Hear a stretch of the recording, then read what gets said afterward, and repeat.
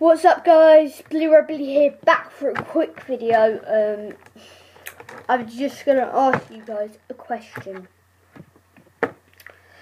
Shall I release Race to Poison today or today or tomorrow or on the 27th? Just a quick question for you guys.